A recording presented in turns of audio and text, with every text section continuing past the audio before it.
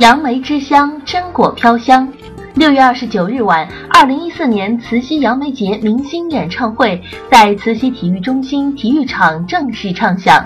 韩磊、Dream、邓紫棋、霍尊、希拉、曹格、杨宗纬等人组成豪华阵容，用最享受的方式为在场的数万名歌迷奉上了一场无与伦比的视听饕餮，为如火如荼的世界杯夏日注入别样的青春活力。